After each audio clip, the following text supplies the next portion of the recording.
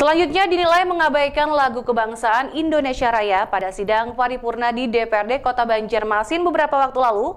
Puluhan masa yang tergabung dalam beberapa LSM menggelar aksi di bawah jalan Lambung Mangkurat Banjarmasin.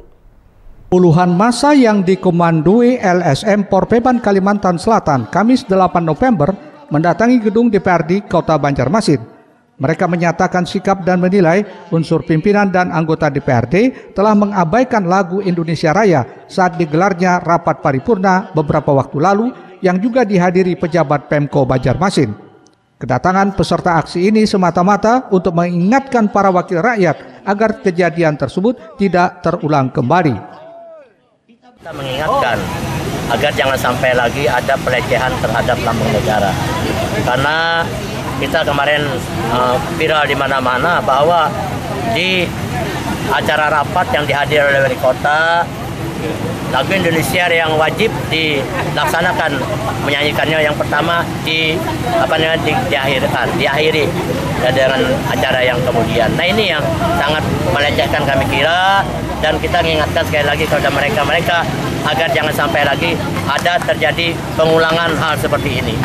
Itu yang pertama, masalah uh, kecintaan kita karena kita merasa bahwa terjadi krisis kecintaan kita kepada negara Republik Indonesia tercinta ini yang dilakukan oleh ketua dewan dan juga diamini oleh mungkin anggota dewan lainnya. Purna itu ada tujuh agenda, ada tujuh agenda, dua agenda internal, lima agenda melibatkan wali kota. Oke. Jadi dua agenda internal itu tidak perlu menyanyikan lagu Indonesia Raya karena tidak menghadirkan pejabat negara karena Pak Wali Kota kan pejabat negara.